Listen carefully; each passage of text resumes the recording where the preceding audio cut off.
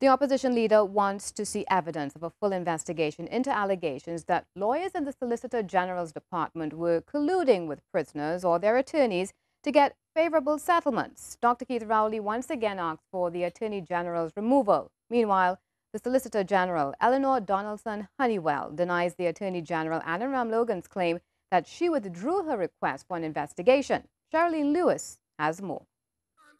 The opposition leader has given the Attorney General an ultimatum calling on him to reveal who conducted the investigation into allegations of criminal conduct involving lawyers of the Solicitor General's office.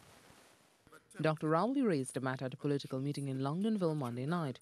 He questioned why A.G. Ramlogan is distancing himself from the matter, saying there was a full investigation into the matter You, as our Attorney General, you have told the world that there has been a full investigation into this very matter. Make the report of that investigation public by tomorrow afternoon. And people of Trinidad and Tobago, if by tomorrow afternoon at 4 o'clock you don't hear from the media of Trinidad and Tobago that the report has been made available to show that there was a full investigation, then once again, the Attorney General would have attempted to speak untruths to the people of Trinidad and Tobago.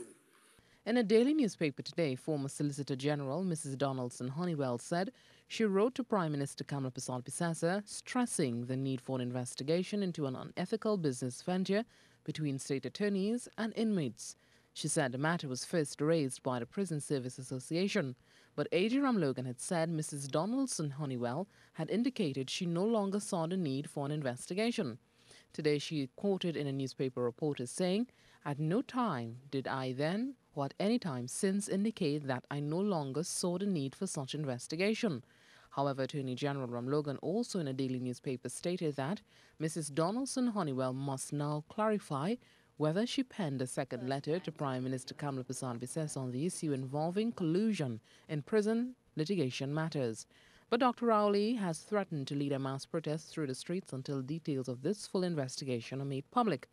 I would lead the people of Trinidad and Tobago onto the streets of Trinidad and Tobago because this government does not own us. They work for us.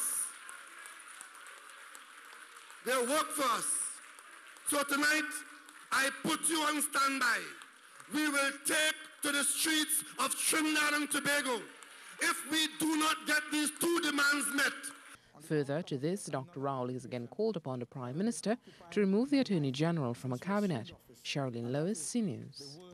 Several attempts by C News to contact the Attorney General, Anand Ramlogan, to comment on the matter has proved futile as he did not answer his phone.